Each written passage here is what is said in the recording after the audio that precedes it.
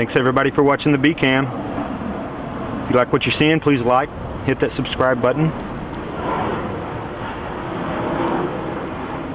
and tag the bell if you'd like to get notices about future videos.